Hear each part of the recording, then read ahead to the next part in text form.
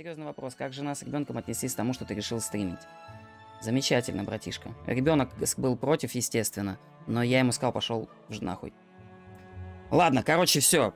Вопросов какие-то один ебануть и другого. Давайте все. Full катка, full серьезка, full все. Ребенок, как твоя жена к стримингу, чувак. Э, come on, man. Замечательно моя жена относится ко всем моим увлечениям и интересам. На то она и моя жена. Как мой ребенок к этому относится, замечательно тоже. Рад, что папа занимается любимым делом.